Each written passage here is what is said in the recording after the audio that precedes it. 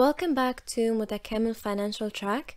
In this lecture, we're going to study the closings, and by closings here we mean the closings of the financial periods, um, as it's not allowed to add any transactions to a closed period as well as an annual closing.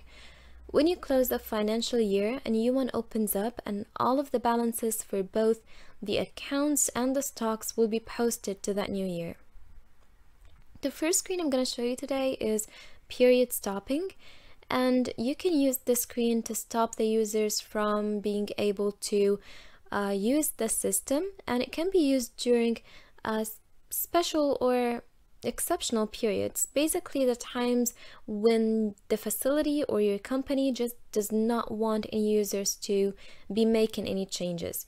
But of course this does not affect the financial year or the periods. It is just putting the system use on hold for a time period.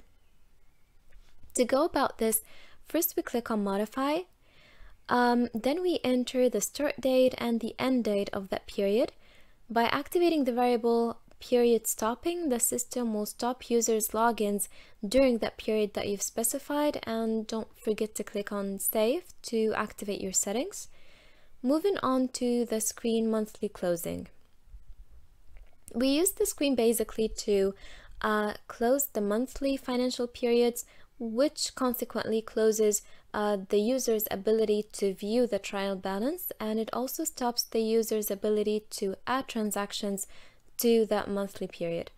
The screen here is divided into two parts. Um, the upper part is where we enter the data um, and we select the options and variables.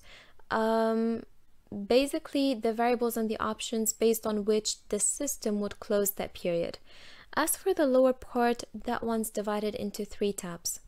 The first one we have is foreign currency, and this is where you will view the accounts that are using foreign currencies and will learn how to close them.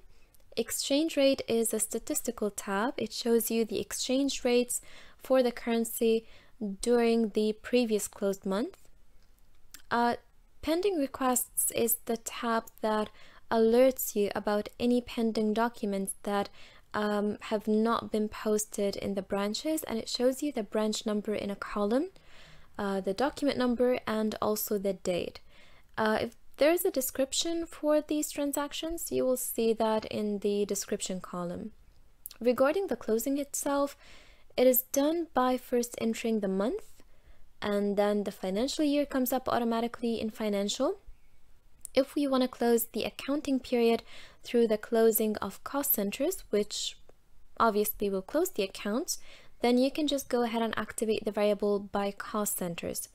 As for the variable reverse reversing journal entries, you activate it in case you have uh, reverse journals that have been created in the account. So the system would um, reverse that movement.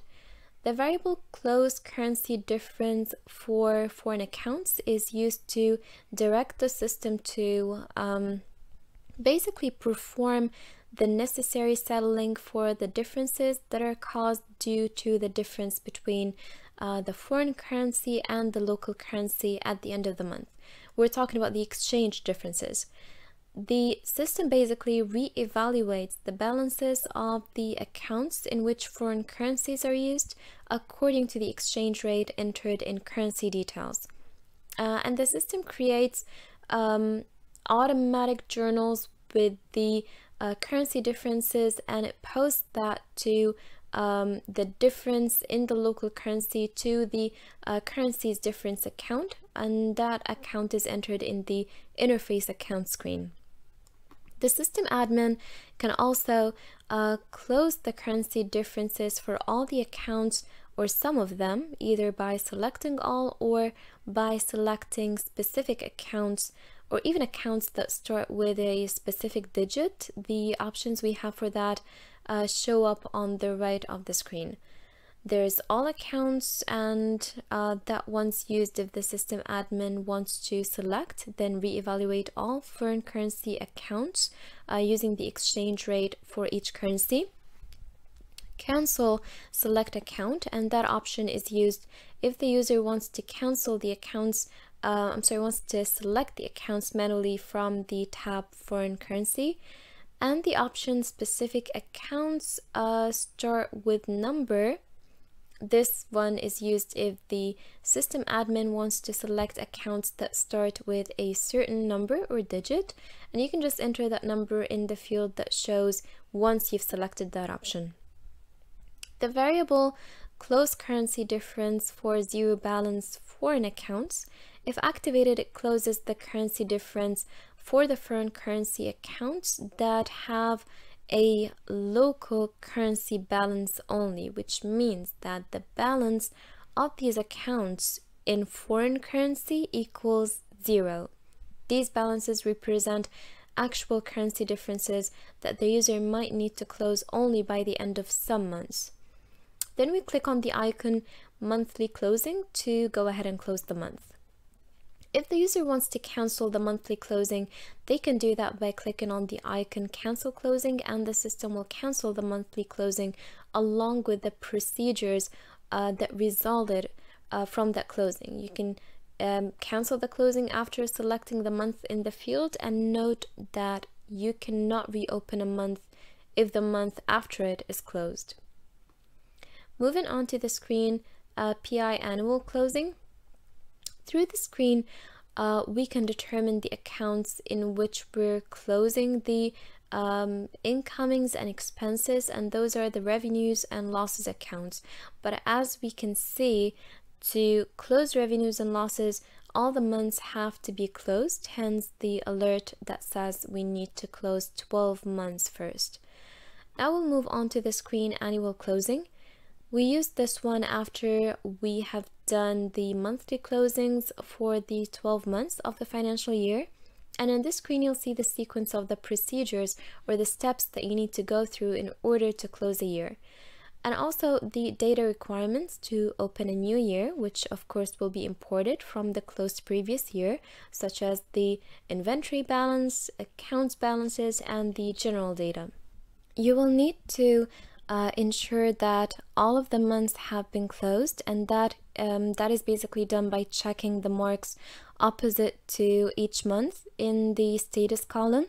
If there's a month that you have not closed, then just check the box opposite to it in the status column, then click on monthly closing, and that opens up the monthly closing screen where you can close the month um, in that one as well. After you're done with that, you can just go ahead and close the screen and go back to annual closing.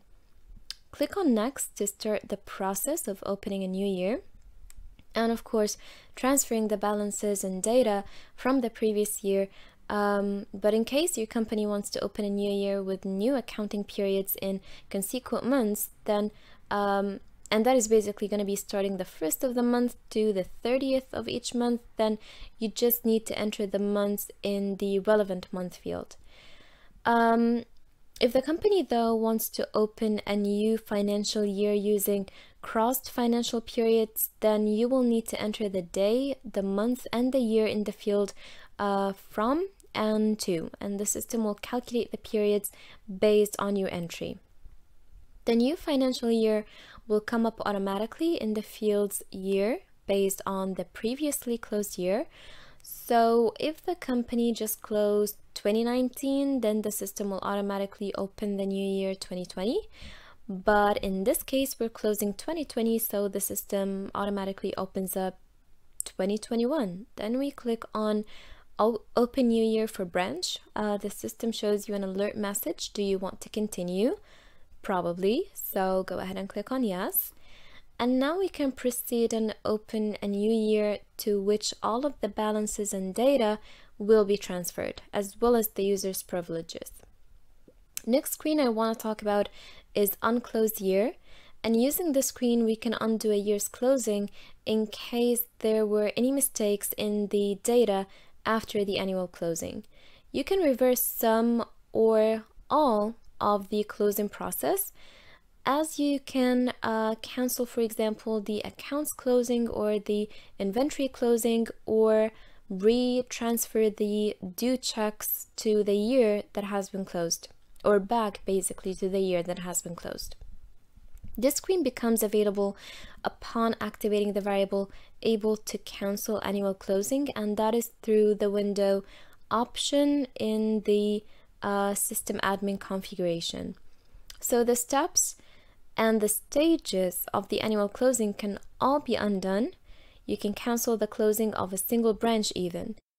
First, there is cancel closing and that is used to direct the system towards canceling the accounts closing and uh, restoring the accounts balances from the new year to the closed year. You can see right next to it, remove account balance.